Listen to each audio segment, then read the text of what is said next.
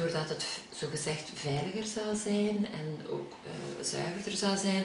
Sommigen zeggen ook dat het zou kunnen helpen om, om allergieën op te lossen.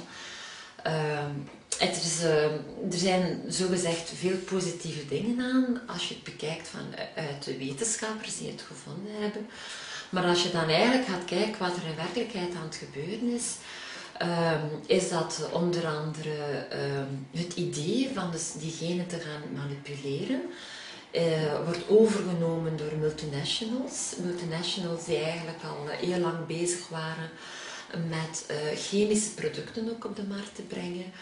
Um, zij hebben daar eigenlijk ook een, grote markt in gezien, want ze hebben gezegd van kijk, als wij, twee, als wij een nieuw zaad kunnen creëren, gaan wij daar een patent op leggen. Dus wie dat ons genetisch gemanipuleerd zaad wil, die gaat daarvoor moeten betalen. Ja. Dus eigenlijk weer al een, commerciële, een heel commercieel gegeven, economisch gegeven, machtsgegeven. Ja. Van wij gaan nu de, wij gaan eigenlijk de natuur patenteren, waardoor wij veel meer geld gaan. Ja, en ze zeggen dus eerst van kijk, je moet geen pesticiden meer gebruiken, dus een fantastisch product. Maar uiteindelijk blijkt dus uh, op de landen waar uh, ze al heel veel genetisch gemanipuleerde voeding gebruiken of zaden gebruiken, uh, wat blijkt is dat uiteindelijk het onkruid daar ook resistent voor wordt. En dus dat ze nog veel meer onkruidbestrijders ja. moeten gaan gebruiken, onder andere Roundup. Het is nu eigenlijk het aankopen van die zaden en de Roundup erbij. Uh, maar uh, wat gebeurt daar dan ook bij? Het zijn geen natuurlijke zaden. Dus uh, ons bijtjes en de insecten die gaan het zaad wel gaan verspreiden. Je hebt dus het feit dat men door die genetische manipulatie, dat men dus resistente gewassen krijgt, dus, waardoor minder pesticiden nodig zijn. Maar waar uiteindelijk dan bijvoorbeeld de insecten die leven van die planten dus te sterven komen, waardoor dus ook weer al het dier dat moet leven van het insect ook in de problemen komt. Dus uh, op lange termijn uh, is dit absoluut geen goed idee. Um, kan je iets vertellen over India? Je hebt me iets verteld over India. Uh... ja, in India zijn arme boeren in de verleiding gebracht van kijk, hè, als je onze zaden koopt, dan moet je inderdaad geen insecticiden of geen pesticiden meer gebruiken. Uh, dus uh, die, die boeren die hebben al hun geld eigenlijk aan die zaden gegeven. Uh, en wat blijkt dus, ehm, dat zijn ook zaden die eigenlijk maar eenjarige planten zijn. Dus ze kunnen die zaden eigenlijk niet opnieuw hergebruiken. Dus ze moeten dan eigenlijk weer opnieuw zaden kopen. plus ze hebben daar ook heel veel last gehad met, met het onkruid. Ehm, het komt er eigenlijk op neer, uh, je kan het afvlak ook alles uh, vinden op YouTube, staan er prachtige filmpjes van, waarbij je de, de boer eigenlijk zelf aan het woord hoort. Of de nakomelingen, want wat in India dus heel veel gebeurd is, dat dus die boeren het gewoonweg niet meer zagen zitten. En uh, ze gewoon zelfmoord gepleegd hebben. Het was eigenlijk ook zo dat zij pesticiden gebruikten. Ze moesten dan uiteindelijk wel pesticiden gebruiken en die pesticiden maakten eigenlijk zorgde ervoor dat ze zelf ook ziek werden en zo. kwam er ook. Nu Vlaanderen, Vlaanderen uh, heeft, uh, daar heeft, daar heeft men blijkbaar geen oren naar, naar die kritiek. Dus uh, Vlaanderen is voor genetisch gemanipuleerde organismen. Ehm, kan je iets vertellen over dat geval daar in Wetteren, waar je, waar je opgekomen bent? Ehm, ja, dus in het voorjaar, in maart 2010 hebben ze dus inderdaad een, eh, een proefveld uh, ingezaaid met genetisch gemanipuleerde maïs. Uh, en daar hebben ze inderdaad gezien ook dus dat het zaad zich verspreidt naar de andere weiden en andere akkers, dus in de buurt. Uh, wat dus eigenlijk wil zeggen, als je België neemt of Vlaanderen, wij zijn al zo een klein landje en alle weilanden liggen al zo, of akkerlanden liggen al zo dicht bij elkaar.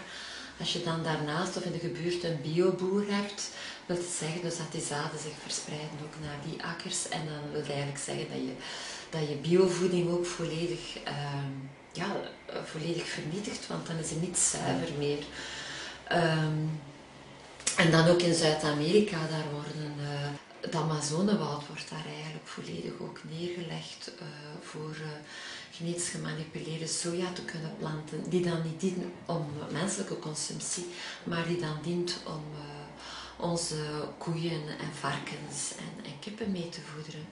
Ja. Eh, het is... ehm, Dus op termijn, eh, wat, ook wat dat betreft voor de kinderen, kan dat geen goede zaak zijn. Nee, helemaal niet. Want eh, als we zo verder blijven doen of als we gaan kiezen voor genetisch gemanipuleerde voeding, wil dat zeggen dus dat er geen zuivere natuur meer zal zijn. Alles zal beïnvloed worden, niets zal nog zuiver zijn. Ehm, ja, zowel de natuur, maar ook de dieren en uiteindelijk ook de mens. Eh, want wij zijn met hen verbonden. En, eh. Als je natuurlijk gaat leven van, kijk, natuur, eh, daar heb ik niks mee te maken. En ik leef maar één keer en ik heb het hier goed gehad. Wat kan mij het schelen? Je bent schooljuffrouw, dus je kent een beetje de, de, de politiek, laten we zeggen, eh, wat scholen betreft, wat voeding betreft. Eh, is men daarvan op de hoogte in de scholen van deze materie? Van de bedenkelijke kwaliteit van voedsel? Wel, ik heb op dit moment het gevoel dat dat eigenlijk veel te weinig is. Er wordt wel al veel aan gezondheid gewerkt op de scholen, maar eh, ze gaan er nog gewoon steeds van uit van ja, vooral gewoon fruit en groenten. Maar ik heb het gevoel dat het veel dieper moet gaan, veel verder moet gaan. Want als je gewoon groenten en gewoon fruit koopt, heel veel van het, fru- van het fruit en groenten zijn ook reeds al bewerkt, met heel veel pesticiden, eh, op watercultuur. eh, de, de groenten krijgen de kans niet meer om voldoende vitamine en mineralen op te nemen, want het moet allemaal heel snel gebeuren.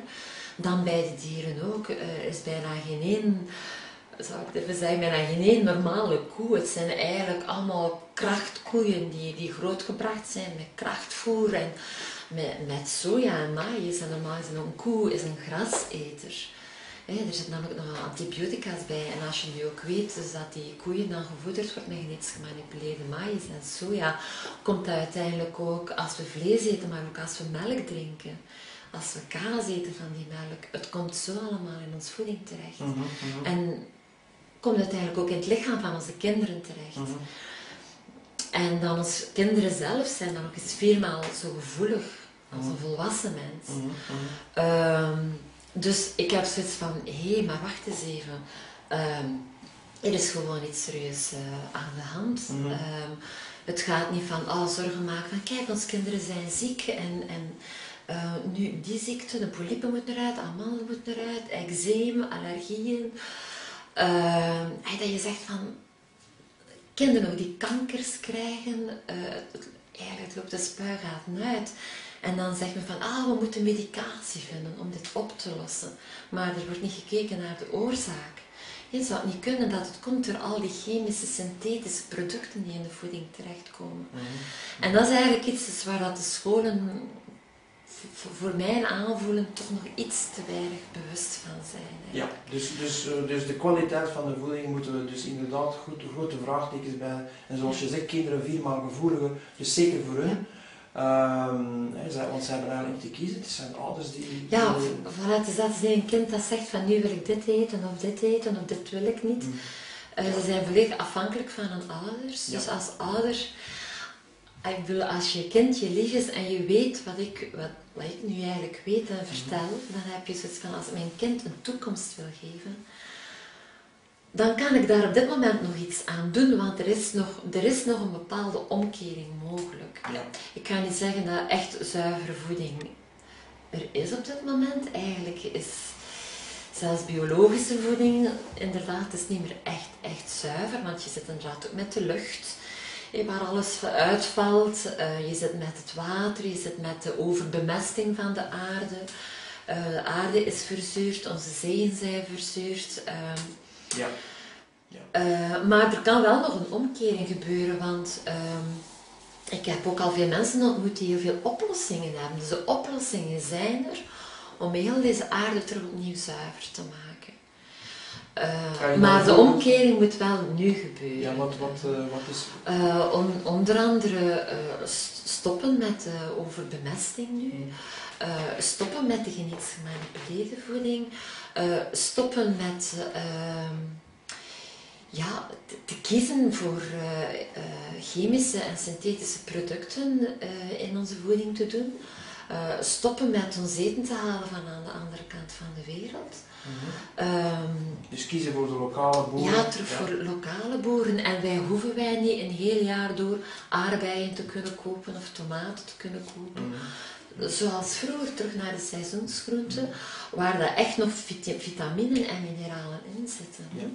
En suiker is ook nog eigenlijk iets dat heel belangrijk is. Dus, eh, eh, witte suiker zorgt ervoor dat alles wat een kind of een volwassene dan opneemt van vitamine en mineralen, als je dan ja, bijvoorbeeld cola drinkt, nadat je een goed bord vol verse groenten gegeten hebt, en je drinkt daar cola op, dan die cola die spoelt eigenlijk alle vitamine en mineralen zo uit het Ja, lichaam. ja, dus ja. eh, die suiker neemt alles weg. Dus ouders zijn dus in dit geval heel belangrijk. Eh, wat, zijn, wat zijn nu jouw adviezen naar ouders toe? Wat, wat zouden ouders nu kunnen doen eh, om daar verbetering in te brengen? Wat zijn jouw adviezen? Wel, ik zou zeggen van ehm, begint met, de- met kleine stappen, maar probeert eigenlijk toch eens eh, te gaan kijken naar een bioboer of een, de biologische winkel eh, en, en te kiezen voor zuivere producten. Het is duur, zeg men dan. Eh, ja, inderdaad. Het kost, een, het kost, het kost meer dan, dan gewone voeding uit Aldi of een Aldi. Maar uw kind zal veel gezonder zijn, omdat daar nog veel meer vitamine en mineralen in zitten. Eh, dus je, kind zal veel, je zult veel minder met je kind naar de dokter moeten lopen. Dus eh, je zult op die manier besparingen kunnen doen. Ehm, je gaat ook veel bewuster kopen, hè? want als je in een supermarkt binnenloopt, ah, de snoepjes liggen er te blinken, de, chipjes liggen er te, te, te blinken, ehm, en de, de kinderen gaan zeuren. En dan kun je zeggen van, van nee, kom, we gaan samen, we gaan echt kiezen voor zuivere voeding. En ik heb eigenlijk in mijn boekje ook geschreven hoe dat je dat langzaam met je kind eh, kunt aanpakken. En eh, scholen kunnen daarbij een ongelooflijke, ongelooflijke hulp zijn, omdat eh, uiteindelijk zitten de kinderen heel lang, een heel stuk van hun leven op een schoolbank. Ehm, dus we zouden als scholen eigenlijk moeten promoten om, om terug voor zuiverheid te kiezen. Ehm, Ja. Je geeft ook wat dat betreft lezingen. ja. Ja, maar dat kan je wel allemaal terugvinden op onze website. Door het boek te schrijven eh, is dan volgend, het volgend idee binnengelopen. Dus van, willen we daar geen van, foundation voor oprichten? Eh, wat we dus ook gedaan hebben. En met de foundation komen we dus eigenlijk op voor zuivere voeding eh, voor onze kinderen op een zuivere planeet. Want als we dat niet doen, dan zullen onze kinderen eigenlijk in de toekomst robotten worden, zeg ik altijd, die ze zich zullen voeden met voeding uit de industrie, dus met robotvoeding. Ja. En dat is niet de bedoeling. Dat is niet de bedoeling. Voilà. Dus ik denk dat we wat dat betreft eh, hierbij kunnen afsluiten. Ik dank jou voor de informatie die je gegeven hebt. En ik wens je natuurlijk veel, veel succes met jouw initiatief. En hopelijk gaan de mensen nu eh, ook eh, reageren naar jou toe en misschien kunnen helpen of jou steunen in jouw mooie initiatief. Oké, dankjewel.